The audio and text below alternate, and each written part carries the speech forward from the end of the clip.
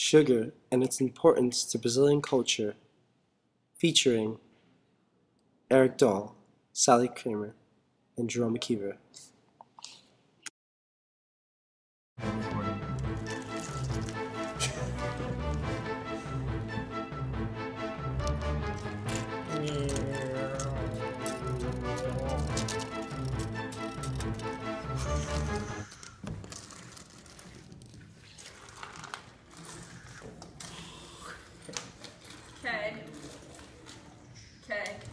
Long?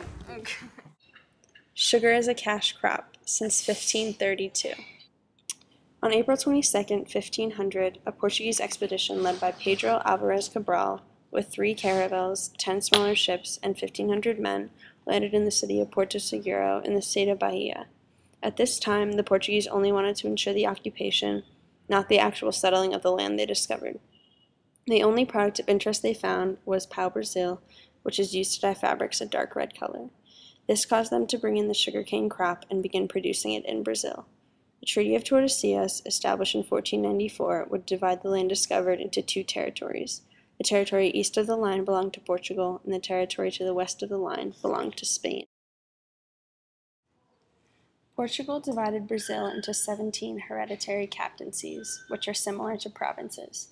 By the time Portugal had introduced the sugarcane plant to Brazil in 1532, they had already introduced it to places such as Cape Verde and the Azores and Madeira Islands. Only two of these captaincies truly prospered with their sugarcane plantations, Pernambuco and São Vicente. Also at this time, gold held a similar value to sugarcane. These maps show the locations of São Vicente and Pernambuco. This is a depiction of the sugarcane crops and slaves in the 1600s.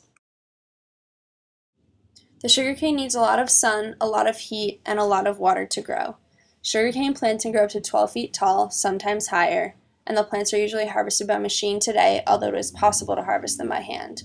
And today, over 1 million people in Brazil work in the sugarcane and ethanol industry. The sugarcane plantations did not stay in the inland of Brazil. They spread out to the coastal areas as well, to places such as São Vicente. Today, Brazil produces 500 million tons of sugarcane per year, which is two fifths of the world's supply. This number will continue to grow into the future. Continued growth is expected because of the use of sugarcane as more than just sugar in foods, but also as ethanol for fuel in cars and for cachaça. Next, we transition from the production of sugar to everybody's favorite drink, cachaça, also known as Brazilian rum. As you can see on the bottom left, we have a stock photo of some pretty sugar canes, and on the bottom right, we have the humorous poster reading, Only 1% of the water on earth is fit to drink. Don't waste it. Drink cachaça. Cachaça's beginnings. First created from sugar brought to the Americas by the Portuguese between 1530 and 1550. Slaves used the leftover cane juice from sugarcane production and fermented and boiled it to produce a, produce a strong drink between 38 and 48 percent alcohol. This meant that it was originally thought of as a poor man's drink. Evolution of cachaça. Starting in 1850, the decline in slavery brought the new social group, the Laboreiros do Café.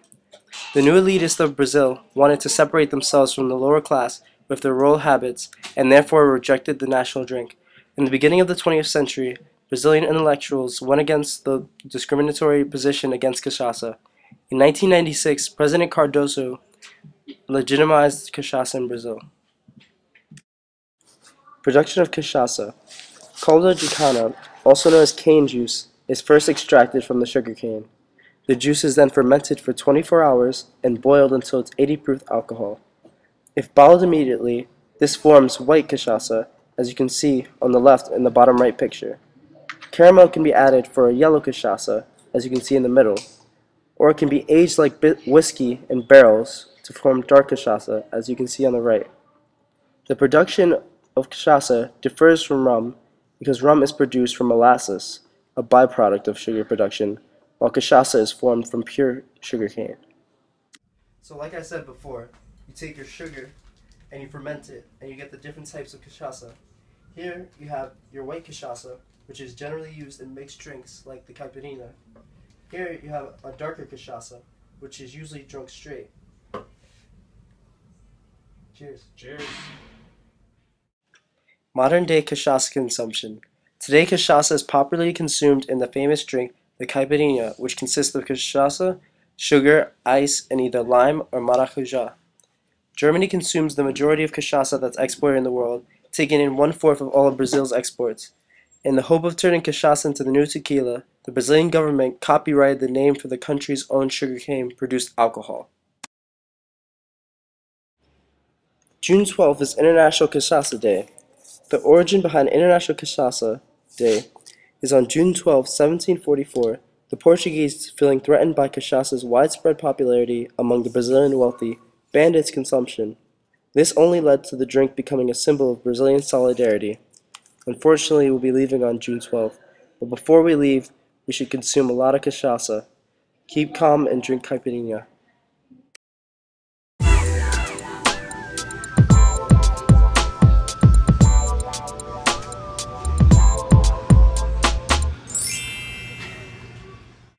Now, I'll be talking about the history of Brazil's ethanol production. Before I get into the history of ethanol, I'd like to briefly brush over the process first. So first, sugar must be grown and then collected. After cultivation, it is then fermented by microbes that act upon the sugar to create ethanol. To get the ethanol in a usable form, the ethanol must be distilled so the majority of the water gets taken out. The end product usually has around a 95% purity. Lastly, in the dehydration step, benzene and cyclohexane are added, then distilled to produce the end product, anhydrous ethanol. Brazil has produced ethanol for fuel in this manner since the early 1900s, producing up to 7 million gallons today.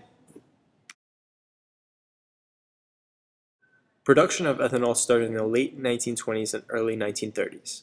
It peaked during World War II because German submarines threatened oil supplies, so Brazil focused on becoming more energy independent. The mandatory amount of ethanol required to be blended with gasoline got as high as 50% in 1943. After World War II ended, gasoline started being used again as normal, and ethanol was only used in great amounts when there were sugar surpluses. It wasn't until 1970, during the oil crisis, that ethanol started become using be being used consistently again. This also led to the creation of the National Alcohol Program in 1975. To start phasing out automobiles, the Brazilian government started to require a certain blend of ethanol with gasoline in 1975. This amount fluctuated from 10% to 22% from 1976 to 1992. As a result of this mandatory blend, pure gasoline is no longer sold in Brazil and the government continues to increase the minimum blend to this day, which is currently at 27%. Ethanol is extremely important to Brazil's transportation needs, and over 90% of the cars sold in Brazil today have flex fuel engines.